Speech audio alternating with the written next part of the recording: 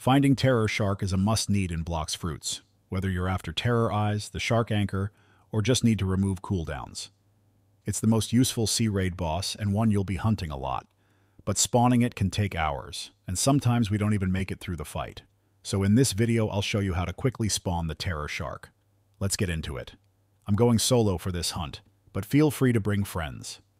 Not only will it increase your chances of spawning the Terror Shark, but it'll also help you survive the battle. I'm starting the hunt from the Tiki Outpost. The Terror Shark has a higher spawn chance at sea levels 5 and 6, so we'll begin at level 5. Once you reach sea level 5, stop your boat and wait for a sea event to trigger. Just make sure to change your boat's direction, either left or right, so you don't accidentally drift into sea level 6. When a sea event spawns, you can choose to fight it or skip it. Neither option affects the Terror Shark's spawn chances. Personally, I prefer skipping them to save time. While I'm on the hunt, another player joins me for the Terror Shark raid.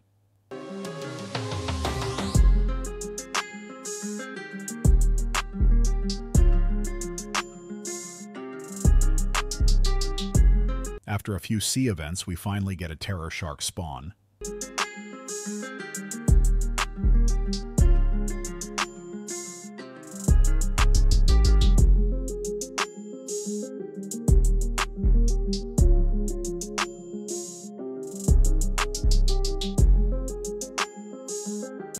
Here's the kicker. We were expecting just one, but three Terror Sharks spawned at the same time. To defeat the Terror Shark, I recommend using Buddha or Magma fruits. Just one mistake can lead to an instant death, so be extra cautious. I'm staying in the air for safety while the Buddha user handles most of the fight to survive.